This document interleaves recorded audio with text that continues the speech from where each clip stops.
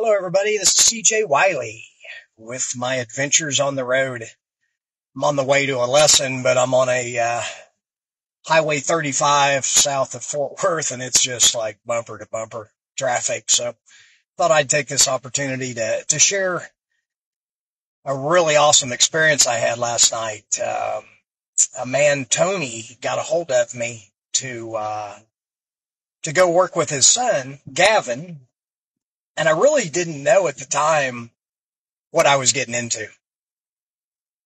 Gavin is nine years old and, uh, probably the most talented, like raw talent that I've seen. I, you know, when I was nine years old, I ran two racks in a row playing eight ball on a nine foot table. And, uh, you know, when I was 12, I won my first tournament, beat all the adults and and won the national high school championships pretty uh, easily when I was 18. So, you know, I was a child prodigy. But I have to admit, I don't think I could have beat Gavin. He ran three racks in a row playing 10 ball. You know, when they told me that, at first I really didn't believe it. I mean, I didn't think they were lying. I just, it was just shocking. Like a nine year old kid, you know, ran three racks of 10 ball. Cause I flashed back to when I was that age and I was thinking, you know, see, I grew up playing rotation, 15 ball rotation. And the first time I broke and ran all 15 balls in rotation, I was 12. But I don't, you know, so I would say breaking and running a rack of rotation is probably equivalent to uh, three racks of 10 ball. But uh, I was 12 and he's nine. so anyway, uh, they wanted me to show him some of the, you know, advanced fundamentals that I show that I learned in uh, Canada that, that really changed my life and, and gave me a whole another level of consistency because it allowed me to go up to every shot and put the, uh, the, you know, the connection in the center of my chest and go down and shoot out of the center of my chest, center of my vision. And there's no better way to look at anything. It's like shooting a pistol, you know. I've worked with, uh, a lot of, you know, pistol marksman. You know, I mean, I've worked with people with Homeland Security and Department of Defense and, and lots of, uh, you know, military guys that, uh, that are high level, uh, you know, pistol shooters. And when I show them that, that what I teach is exactly like shooting a pistol out of the center of their chest, because they're all taught that. Plus, they have an advantage that, that one of the stances, and I don't know the name, they have a name for it, is very similar to the stance required to be able to go down on the ball and shoot it out of the, the center of your vision. Uh, Efren does it. Bustamante does it. Shane Van Boening. You know, once it's brought to your attention you start seeing these professional players, you'll see them in a different, uh, in a different way like uh, one of the rules of thumb I go by is we can only recognize what we're familiar with. So once you're familiar with something, you can see it. And I've shown, you know, I've got a lot of different analogies and, uh, uh, one of my favorite ones was uh, when I was shown some mark cards. I could not see the mark and I had just about perfect eyesight, but that didn't matter and the guy that showed it to me said that if I don't know where it's at, there's no way I can see it. But here's where it got kind of bizarre at the time. When he showed me where that mark was, from that point on, when he showed me a card, my eyes went to that mark and it was tiny. and, uh, and I could see the mark as well as I could see the card. It, that, that was a wake up call for me. And in life, uh, you know, it's the same thing. It's, it's really tapping into the subconscious. So, uh, you know, I, I showed Tony and, and Gavin, uh, you know, how this all works. And, and really, you know, a lot of it, like the first hour of my lesson is a lot really explaining the philosophy of what uh, is required to be able to do this because it's different than what everybody's accustomed to. And uh, I also check their alignment so that they can see exactly where they're at right now. And because uh, most people don't know they're out of line. I say most. I, I really think I could say all. I don't think I've uh, taught anybody yet that knew how far out of line they were because our eyes have the ability to make an adjustment about three or four inches. It's like a peripheral vision, but it's it's if you're on a on the line of of the uh, pool shot, you can stand three or four inches to the left, and your eyes will still tell you that you're on that line. But you're if you if you really check it out, you know, uh, you're lined up on your right shoulder or your right foot or your right hip. There, there's basically that makes a straight line. And you know, the, you know, the, the right shoulder and the eyes are going to be three or four inches apart because your, you know, your chest is going to be slightly turned. To, to learn this, I, I recommend, uh, you know, you can stand perf- almost perfectly square, just like you're talking to somebody. And not only can you see things better like that, but you can connect to things better like that. Again, like shooting a pistol, you want to get square and shoot right out of the center of your vision. And, and when you get really good at that, you know, I shoot a bow too. It's the same type thing where, uh, you can feel like where the bullet's hitting the target or where the arrow's hitting the target, or in this case, uh, where the cue ball is hitting the target. And what it allows you to do when you get your alignment right is uh, only use two alignment positions. I just start out center to center for all of the shots, all the way up to a center to edge, which would be a half a ball hit. Then my eyes won't go any farther than that in that peripheral state. So I have to then go to center to edge. Then my eyes can see all of the cut shots. So I'm aligning the same way every day, every hour, uh, you know, and that is where you get the incredible consistency. Because most people are trying to line up on the shot line, which is different every shot. What I'm doing is the same every shot. And then as I've described before, I triangulate the angle. And, uh, and that's utilizing what most people are, are using that gift that they have with their eyes. They're kind of wasting it because they're standing three or four inches off the line and using the ability of their eyes, uh, in a way that's kind of artificial. It creates an illusion. But once you get on the line where you really are, then you can use that ability you have with your eyes to make every single pool shot. And there's only four angles off center, which one of them straight in. So there's only really three angles. And then there's four angles off uh, the centered edge. One of them is centered edge. And then, you know, the angle, the other three angles, uh, not only are the same, but like if you just looked at the angle of the pool cue, they're the same to create the angles off center to center as they off, they are center to edge. So that reduces it down to really, there's only three angles that I have to be able to create with my cue, which is also relative to, to what we, what you'd call the shot line.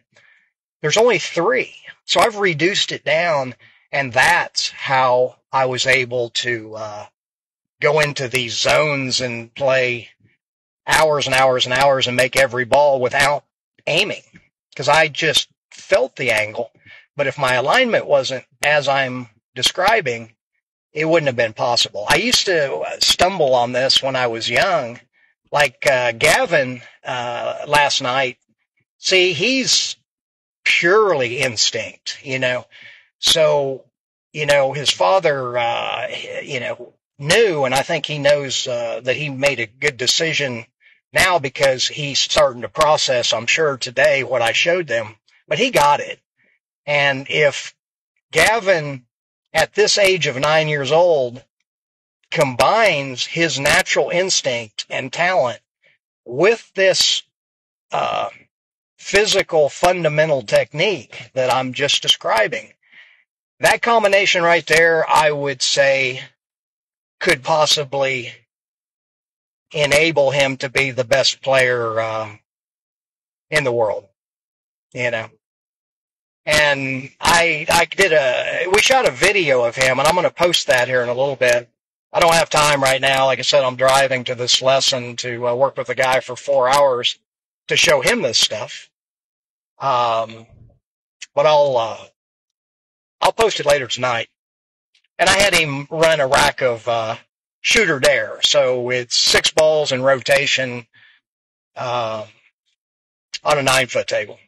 Because I played the game with him. See, and, and the ShootorDare game is designed, and it took me a lifetime to do this. I mean, I, I had this, uh, I made my first video about ShootorDare seven years ago. And I still haven't shown it to, but maybe, I don't know, five, maybe 10 people. So I've been keeping this to myself and, uh, just waiting for the right opportunity to release it to, to the, the public. And, and I'm doing it in a, in kind of a calculated way. We're, we're, our first big tournament is going to be the middle of July, and it looks like it'll be in Philadelphia. I'm, I'm just ironing out the details, so it ha- hasn't been totally confirmed. But they are also wanting to do like eight qualifying tournaments around that area. And then I'm going to use the uh, Dallas Fort Worth area to do probably the second big tournament. We're, we're planning on doing one big tournament, like 128 player field um, a month, and then uh, we're going to divide the country in sections, and uh, we're going to, you know, recruit some people that want to get involved with this at the ground floor, so that they have exclusive areas in every state. So uh, you know, I don't want to talk too much about that, but that's that's what that's what we're planning, and uh, we have all the uh, resources to do it. So, especially my uh, my partner Casey, uh, Deshotels, love that name in uh, in Louisiana. He's he's down in Lafayette, Louisiana, and he owns a uh, marketing advertising group. And he's the type of guy like he he does uh, his you know like his computer skills are every bit as good as my uh, my pool skills, and that's what I was looking for.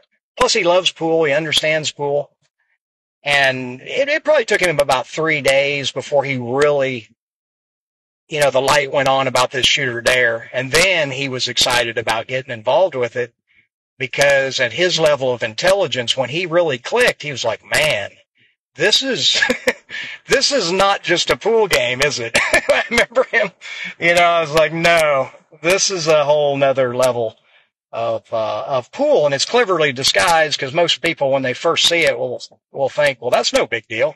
It's just six ball. No, it's not just six ball. If somebody says that, uh, you know, they're kind of exposing themselves to not have a, a high level of knowledge.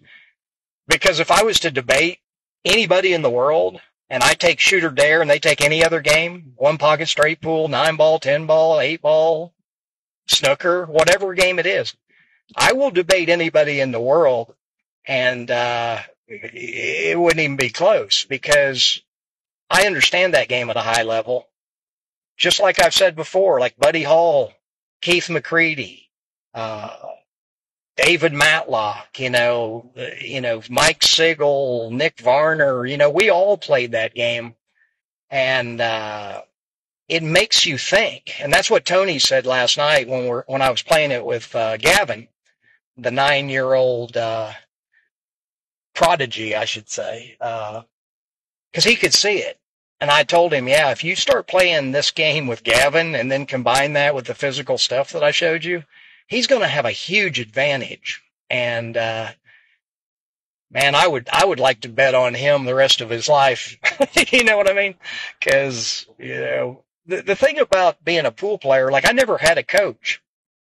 If I could go back in time and coach myself from nine years old, I mean, it would have changed, you know, I would have, I would have done, had a much higher level of success in, in tournaments, especially if I would have known this stuff at that young of age because, uh, well, you know, back then the only pool on TV was like Minnesota Fats and Willie Mosconi and, and Gavin has the opportunity and has taken advantage of it of watching all of these uh, YouTube pool videos. So his little computer mind has just processed all of these great, great players. And, uh, I have to admit, I'm a little bit jealous. You know, I wish back then I would have had that opportunity because, man, I, I remember waiting uh, by the TV for, uh, uh, Minnesota Fats and Willie Mosconi to come on. And, and, and that really, you couldn't really learn much watching them. I mean, Fats was more of a showman and, you know, Mosconi, you know, really, I've seen some of his videos. He, he was an awesome player, but, but he wasn't, you know, a teacher and some of the things that he showed, uh, and I don't fault him for it. He was, he just really didn't know what he was doing. Cause to, to figure out what a champion player does, you know, you have to be willing to, uh, sacrifice your game for a while. And most players don't want to do that and, and can't because, you know, they'd sacrifice their income. I was in a unique position to be able to do that because I didn't have to make money playing pool. So I just was really curious what I was doing to get into, uh, to these zones where I wouldn't miss a ball for hours at a time. Cause, you know, at first I, I didn't know. I didn't have any idea what I was doing. Now I do. And uh, that's why it's been fun to teach people the last few years. You know, I've just understood it better and better. And, and right now I'm at the peak of that. So I'm, you know, transferring over to teaching the game itself through ShootorDare. So uh, if you want to know more about that and haven't seen the uh, the videos about it, it's at shootordare.com you know, there's three videos I would recommend uh, watching all of them. I showed the promo video of kind of how I came up with this and what what my in you know intentions and and you know why I'm sharing this with the world because uh, you know it's just the least I could do for the game. The game took me out of a little town of 629 people and, and, and showed me the world and, and enabled me to do things and, and have a, have a life that I could only have dreamed of and did dream of when I was nine years old. When I first started playing, I started at seven years old. And, uh, you know, it's cool to, to be in situations like I was last night and see somebody that reminded me of me, you know, and, and he loves the game. And, you know, afterwards I stayed there for several hours and Tony's wife fed me a delicious meal. I really appreciated that. And Tony and I sat there and talked for several hours.